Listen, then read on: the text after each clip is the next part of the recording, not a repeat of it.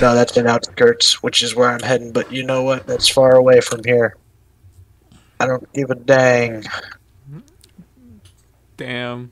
Oh man, they're having a shootout. That is a rootin' tootin' six shooting repeater rifle pulling trigger firing standoff of the Mexican variety.